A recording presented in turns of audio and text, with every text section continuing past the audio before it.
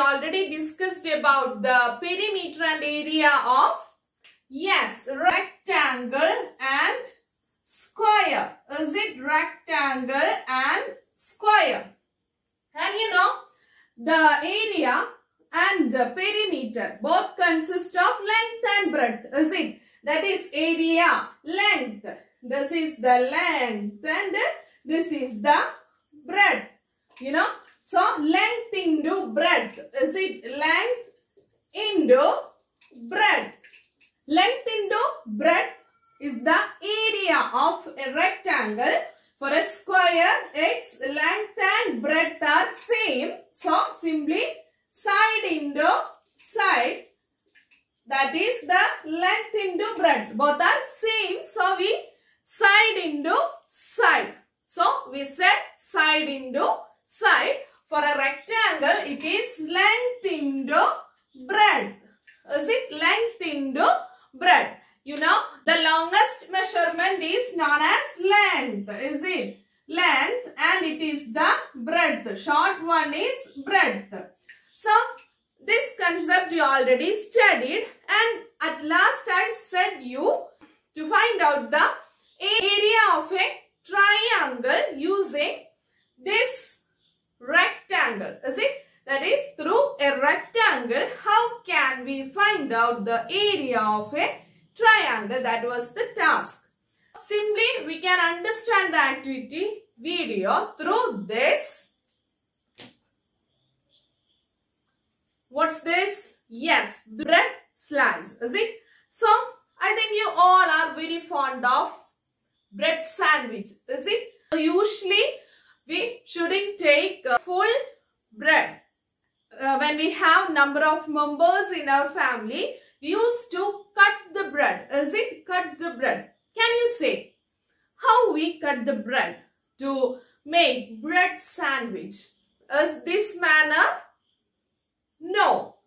This manner? No. Usually we cut, yes, in this manner, is it? In this manner. Now you got to, yes, to triangle shape. Is it to triangle? When we join the triangle, we get the square bread piece. When we cut through, cut through, Yes, the term diagonal, corner to corner, is it? Alternative corners joined together. That line is known as the diagonal. Is it? For this, for this uh, rectangle, this line, it's the diagonal. Also, we can, yes, join these corners. So, two diagonals. In the case of square also we have two diagonals. Is it? The corner to corner connection is, is known as the diagonal. So, I took a square bread piece and I cut through the diagonal so I get two triangular pieces. Is it? So, uh, first of all, we should spread cheese or mayonnaise according to your wish. Is it? So, we should spread cheese or mayonnaise throughout this surface is it throughout this surface and you know the throughout this surface this portion it's not as yes area is it? It's known as the area. So the total bread slice its area of yes square. And this one this one. Yes, area of triangle is it area of triangle? So uh, spreading the cheese in this portion means area of this triangle portion area of this triangular portion. I think now you got the concept is it? So when we cut a square or a rectangle through the diagonal we get two equal triangles. So, the area, area will be half. Is it? Half. You know, the full area is divided into two equal parts. So, we get two equal triangles and the area becomes half. Is it? So, total area is length into breadth. Same, side into side. So, the area of a triangle will be half into area of, yes, rectangle or square. Is it rectangle or square? Simply, we can write it as half into length into breadth. Got it students? I think now you got the concept that why I told you to take a rectangle to find out the area of a area of a yes triangle. Got the concept? Very good. So cutting through diagonal of a rectangle or a square we get always yes triangle. So that concept used to find out the area of triangle as half into length into breadth. And what's the length? When a, for a triangle, for this, for this square, length, breadth. So, for the triangle, length, breadth. Is it? Length, breadth. And you know, this is a portion of a square. So, this is 90 degree. Is it 90 degree? Here you have 90 degree. So, length and breadth are length perpendicular to breadth. Is it length perpendicular to breadth? You know, this is a 90 degree. So, length and breadth are perpendicular. Is it? When we take one side as length, the perpendicular side, perpendicular side to length is the breadth. Suppose for a triangle like this. Okay, triangle like this. You know, for this type of triangles, when we take one side, this as length, this as length, this as length, breadth will be the perpendicular, perpendicular, perpendicular to that length. Got it? Its length, the perpendicular is the breadth. For this side, we can draw it as, yes, simply the altitude. You already studied about the altitudes. Is it? That is the perpendicular length. So, breadth will be simply we can say that half into length into breadth. Half into length into breadth. Half into length into breadth.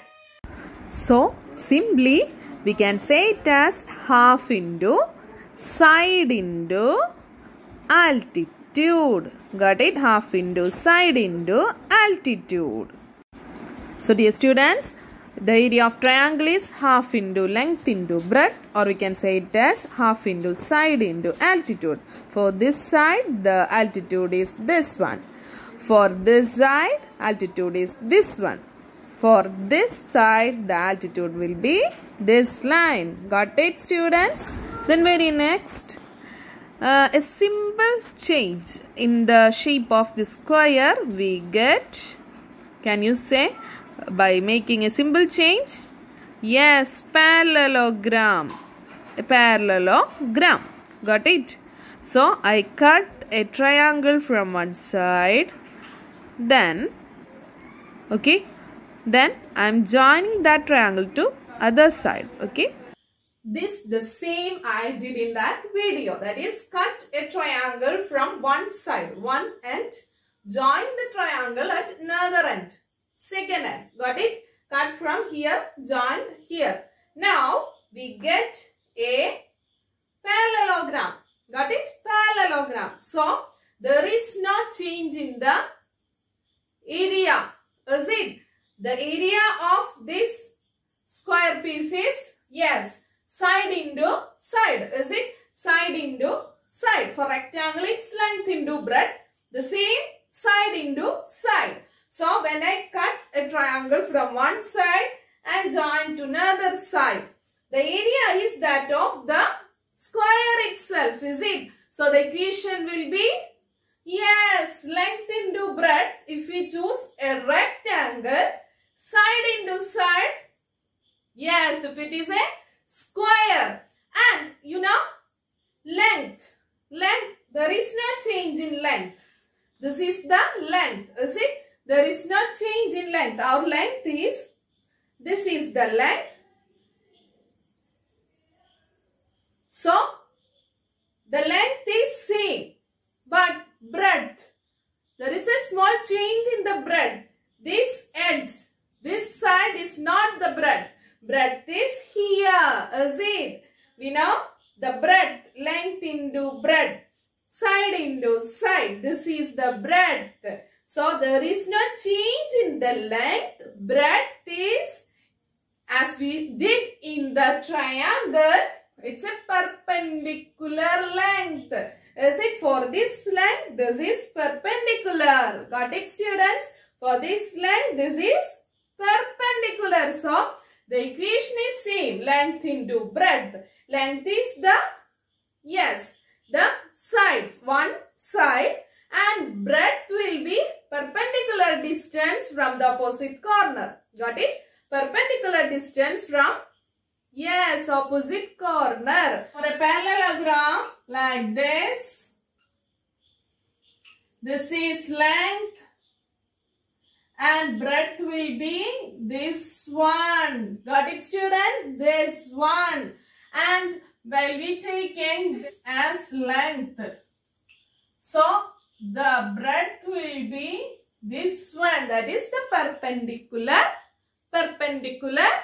That is the perpendicular will be the breadth. Got it? So, simply for a rectangle, length into breadth. The same formula for a square, side into side because length and breadth are same. For a parallelogram, the equation is length into breadth but length is one side, breadth will be the perpendicular to that side. And in the same way, for a triangle, half into length into breadth. We can take it as half into one side and the altitude, altitude to that side. I hope now you can understand how we can apply the area of these two figures to find out the area of triangle and a parallelogram. Do the activity by taking a rectangle or a square of your choice and you have one more task. Find out what are the triangular shape objects we used in our daily life and also the parallelogram shaped objects we used in our daily life. Okay, we'll catch you at the DCS time. Thank you.